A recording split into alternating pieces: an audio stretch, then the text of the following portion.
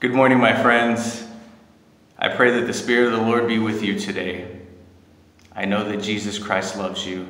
You are his child, so precious in his eyes. Today, I wanted to pray with you. Uh, a few things have been on my mind. I've made a covenant to comfort those that stand in need of comfort and to mourn with those that mourn, and to stand as a witness of Christ in all things and all places that I may be in even unto death. That's my, that's my, uh, that's my mission. That is my end of the bargain that I've covenanted. Um, so today I want to pray specifically for a couple people, but also for, for people in general. Linda is a subscriber who has gone through some tough times, as, as I'm sure many of you have. I know I have.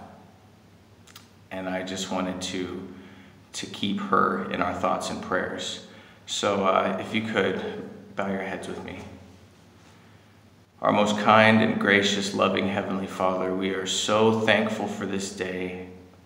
We're so thankful for the gift that you have given us of salvation. Thank you for sending your Son, Jesus Christ, to live on this earth and to suffer the pains of death to atone for our sins. Thank you for his resurrection, that beautiful first Easter morning that broke the bands of sin and death. Thank you for your grace. Thank you for your Holy Spirit. We're so grateful for the presence and the influence that you have in our lives.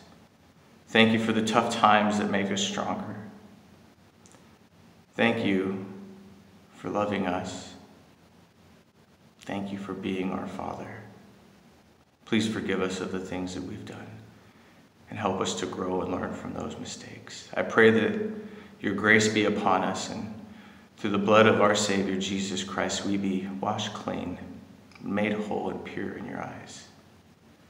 Father, I pray a special blessing upon Linda, that peace be with her I pray that thy spirit be upon her and bless her family, and that thy hand be ever so present in her life, that she may be strengthened through her trials and her afflictions. I pray for all those who are grieving, lost family members that are either lost in the world or lost in this life, and that have returned unto thee. Please comfort them and lift them as thou lifted me when I dealt with my grief from losing my brother. You know better than anyone how to comfort people. You promised to send the Holy Ghost, and you are faithful. Thank you. You said, Ask, and we shall receive, and we ask you for these things, Father, gathered together in the name of your Son, Jesus Christ. We ask for a special blessing upon all those who suffer. Lift them up, Father. Lighten their loads and show them thy hand in this life today. Bless them with peace, with light, and with love. And bless those instruments whom thou hast called to serve them, to serve them today and to take that opportunity to take care of thy sheep. We love thee so very much and we're eternally grateful for everything that we have. And we praise you above all in the most holy and sacred name of Jesus Christ. Amen.